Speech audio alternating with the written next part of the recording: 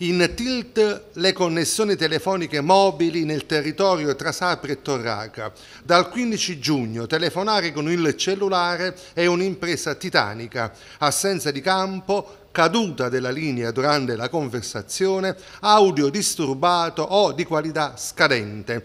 Da qualche ora addirittura esce sul display una notizia che è possibile fare solo chiamate SOS. È davvero incredibile che nel terzo millennio ci sia quello che sembra un vero e proprio blackout di un servizio essenziale collegato a un diritto costituzionale. La cosa è ancora più grave se si pensa al periodo di pandemia che stiamo attraversando. Che cosa succederà se le autorità sanitarie e istituzionali dovessero proclamare una nuova chiusura totale come avvenuto nei mesi di marzo e aprile? È chiaro a tutti che la situazione è grave e sta portando alla esasperazione gli utenti del servizio di telefonia mobile. È l'ora che i sindaci si facciano carico di questi problemi ben più importanti delle sagre, delle feste, dei parchi giostre. Servono interventi istituzionali forti e serve anche una presa di coscienza